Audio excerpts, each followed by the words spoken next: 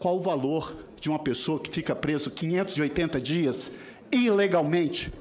Blindar também de criminalidade, eu quero aqui fazer uma ressalva, senhor presidente. É um juiz utilizar instrumento processual para levantar sigilo de uma presidente.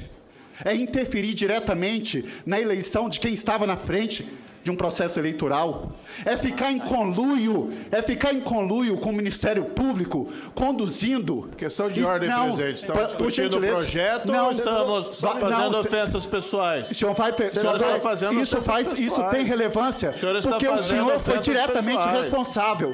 Falar em corrupção, a corrupção Moro, é isso que o senhor fez. O, o senhor não soube se portar como juiz. O senhor violou o que é principal. O senhor violou o princípio de legalidade de armas. O senhor violou não, senhor senador, o senhor não pode interpelar. O senhor não soube se portar como juiz. O senhor gastou não satisfeito.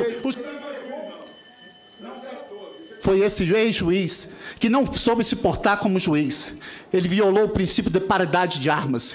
Ele violou, violou o contraditório e ampla defesa. Ele violou o que é mais sagrado dentro do processo penal.